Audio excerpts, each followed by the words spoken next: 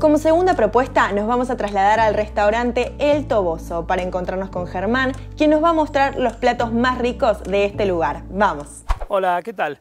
Mi nombre es Germán Rebaudino, eh, propietario del restaurante La Casona del Toboso en la cumbre, en la calle Belgrano 349 y les doy la bienvenida. Nos encontramos en este local que forma parte de lo que es el poblado histórico es un edificio donde funcionó por primera vez eh, la Municipalidad de la Cumbre. Eh, en realidad era así porque era el lugar donde vivía el intendente, funcionaba el municipio y bueno, de allí quedó que, este es un edificio histórico. A partir del año 1985 lo adquiere mi familia y es, eh, reformado para instalar un restaurante se conservó todo lo que era el frente y la fachada y se hicieron algunas reformas eh, internas. Después de nuestra caminata por las casonas y edificios históricos de la cumbre, llegó el momento de hacer una pausa y disfrutar de un merecido almuerzo. Para los amantes de la buena gastronomía, este punto está dedicado a ustedes. Vayan tomando nota. Sin dudas, el Toboso nos recibió de la mejor manera, con unas comidas exquisitas y sabrosas.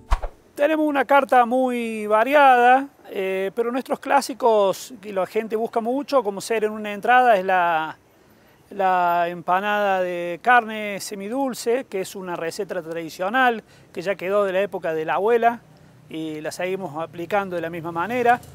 Otro clásico es el chivito a la parrilla, también es espectacular, eh, digno de probarlo.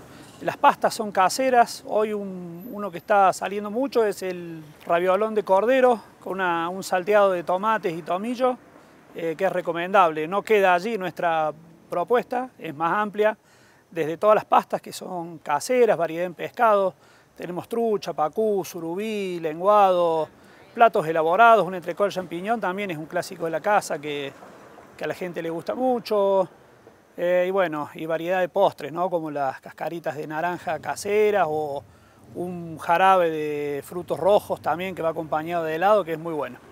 Con una carta muy variada donde se destacan los platos gourmet, las pastas y las parrilladas, este lugar nos propone disfrutar de cada bocado. Todo riquísimo. Además, este restaurante ofrece un entorno cómodo, tranquilo y ameno, que nos invita a relajarnos después de nuestro viaje. Eh, la cumbre se caracteriza por tener una amplia y variada oferta gastronómica y hotelera que lo hace un atractivo que permite que en cualquier momento del año puedas venir y pasarla bien. Así que bueno, eh, los esperamos y por supuesto no dejen de conocer la Casona del Toboso. ¿No sabes a dónde ir a comer mientras estás de viaje? Entonces te recomiendo que visites el Toboso. Ellos te están esperando con los brazos abiertos y por supuesto con unos platos increíbles. Bon appetit!